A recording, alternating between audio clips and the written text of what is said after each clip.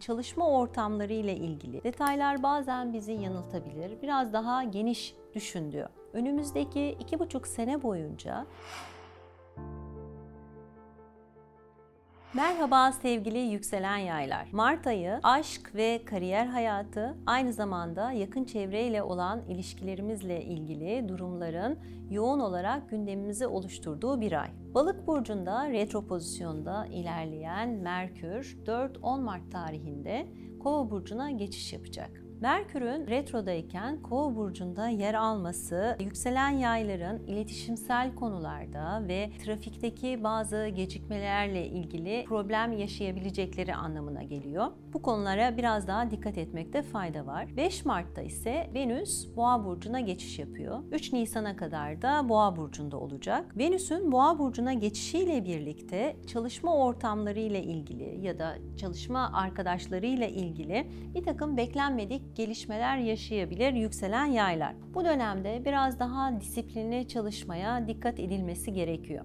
9 Mart'ta ise Başak Burcu'nda bir dolunay gerçekleşiyor. Bu dolunay detaylar bazen bizi yanıltabilir. Biraz daha geniş düşün diyor. Yükselen yaylar da kariyerle ilgili alanda daha fazla etki alacaklar. Kariyer konuları ile ilgili bir takım kararlar alabilirler. Daha fazla sorumluluk almak durumunda olabilirler. 22 Mart'ta ise Satürn Kova burcuna geçiş yapıyor. Satürn bulunduğu burçta yaklaşık 2,5 sene boyunca ilerler ve bulunduğu burcun doğasında bizim doğum haritalarımızda temas ettiği ev konuları üzerinden bizlere bir takım sorumluluklar yükler ve hayatı bu alanlarda bize sorgulatır. Satürn'ün Kova burcuna geçtiği dönemde yükselen yaylar biraz daha yakın çevreyle olan ilişkilerini, bilgi alma süreçlerini, kardeşleriyle olan iletişimlerini, almak istedikleri eğitim konularındaki e, tamamlanmaları daha fazla gözden geçirecekler, bu alanlara yoğunlaşacaklar. 22 Mart 2 Temmuz arası Kova'da devam edecek olan e, Satürn geçişi Oğlak Burcu'na geri dönecek ve Aralık 2020'de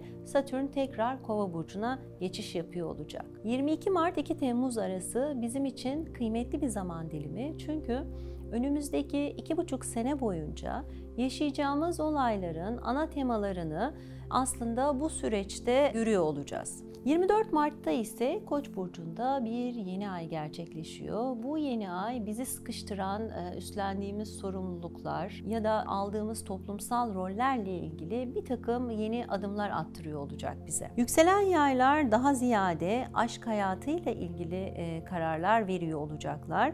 Bu dönemde onların öncelikli konusu özel hayat olacak.